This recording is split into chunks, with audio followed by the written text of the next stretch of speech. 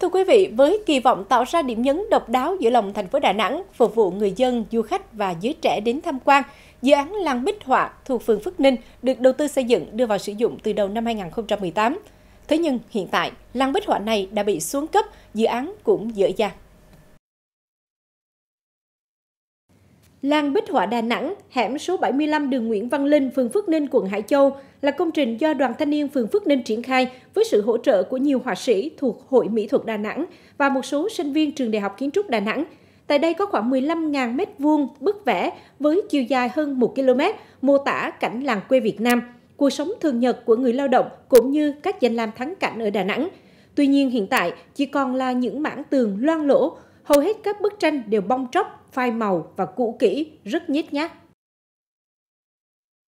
Cái hồi nó đẹp lắm, ừ, bích họa đông lắm. Ừ, tôi nói du lịch nội vô đông lắm.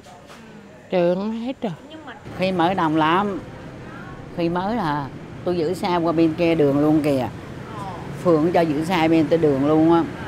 Xong thời gian cái hết đông.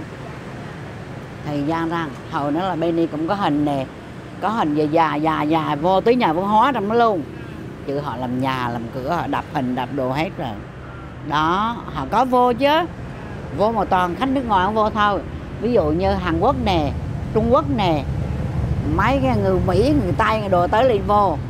Vô họ đổ xe tới vô trút xe vô ghê lắm chứ. Xong vô không có chi họ ra lại. Dự án được đầu tư từ nguồn kinh phí xã hội hóa, mọi sự gìn giữ đều nhờ vào cộng đồng – Thế nhưng dịch Covid-19 ập đến, ngành du lịch của thành phố bị ảnh hưởng và làng bích họa này cũng bị lãng quên.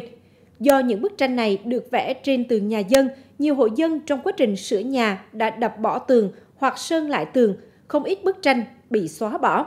Trong khi đó, Kiệt lại quá hẹp, xuống cấp trông khá nhít nhát và gần như rất hiếm các dịch vụ ăn uống. Đổ khách xuống mà họ vô tới đây cái họ về hết. Đâu, đâu có hình ảnh gì đâu mà biểu họ vô không không có dịch vụ gì trơn. Trong đây mà vô chứ trong đấy chậm dứt là đúng hơn. Trong đây đâu có gì mà mà ví dụ như là bánh, lò gốm, lò đồ nó mới được. Chứ còn tự nhiên mà đi vô trong nó đâu có gì mà hẻm hẻm trong này chặt nữa. Đây lẫn rộng xíu thôi tôi vô nó cũng chặt nữa. Em cũng muốn là cho nâng cấp lên được cho nó đẹp vì khách họ còn đi vô á. Thì nâng cấp, ví dụ mình có những cái hình ảnh đẹp hơn thì à, khách du lịch sẽ hút à, khách du lịch hơn. Dự án làng bích họa được triển khai với mục đích giúp cho các hộ dân trong khu vực có nguồn sinh kế mới và tạo một điểm tham quan mới cho du khách đến Đà Nẵng. Thế nhưng thực tế cho thấy dự án đã không phát huy hiệu quả và bị bỏ ngỏ. Việc đầu tư rồi bỏ hoang và để dự án tự xóa sổ như làng bích họa Đà Nẵng hiện nay không chỉ gây lãng phí về tiền bạc, công sức mà vô tình còn ảnh hưởng đến môi trường du lịch của thành phố. Vì hiện tại, theo người dân nơi đây, Thỉnh thoảng vẫn có du khách đến tham quan, nhưng vội rời đi ngay vì thất vọng.